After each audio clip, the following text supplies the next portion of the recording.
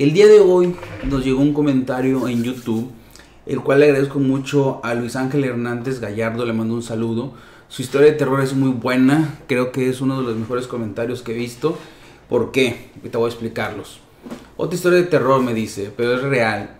Ya dejé de comprar por un tiempo de China México, toda la inversión y ganancia se lo llevaba a la paquetería y si no entra lo mandan a USA y riesgos de pasar. Mejor comprar por eBay, Amazon, Home Depot o tiendas de ofertas de Estados Unidos porque lo chino tiene restricciones de origen y hace, poco fue Reynosa y me traje varias cosas que encargué a un pariente que vive en McAllen y puede sacar a cierto valor declarado y su factura. Qué lío la verdad dice, es adquirir productos mayores de China muy barato que parezca tiene riesgos, ojalá y me llegue la plantita inversora que pedí de muestra poliaba, ya me preocupa mucho, dice. Ojo, también pueden comprar desde China, mandarlo a Estados Unidos y pasarlo por frontera norte.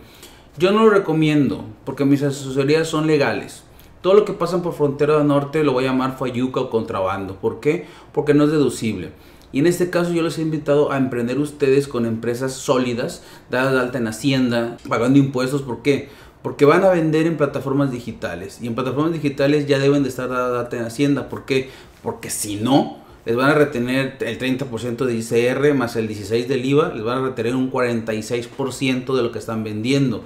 Por eso ya deben de ser sus importaciones formales para deducir la compra del producto y los impuestos que pagan en la importación. Así van a compensar los impuestos que les quieren cobrar con lo que ustedes están pagando, por ejemplo, ¿va? Y en este caso les voy a ser sincero, he visto muchos canales de YouTube que les dicen cómo hacer negocios en China, cómo importar desde China, es negocio importar desde China. Y lo he visto de gente que está no solo en México, lo he visto en Centroamérica, en Sudamérica, he visto en, El Salvador, por ejemplo, en Colombia, en Perú, en Ecuador, en Venezuela, no sé, en, en países donde hay una persona haciendo videos de cómo enseñarles a ustedes a importar pero no están importando ellos. ¿Cuál es su negocio?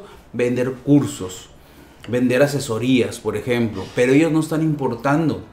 Ni siquiera saben el pedo que es buscar un buen proveedor, negociar con el proveedor ciertos términos de Incoter, cantidades de compra, cumplimiento de normas de etiquetado, este, ser competitivo.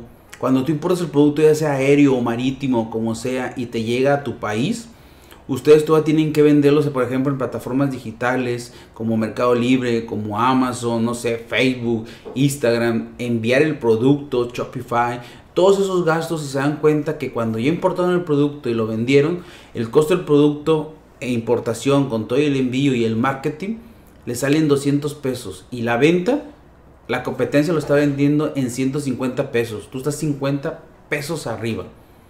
Es fácil de mucha gente que está diciendo que importen. Ellos están importando, yo me pregunto. Recuerden, somos logística.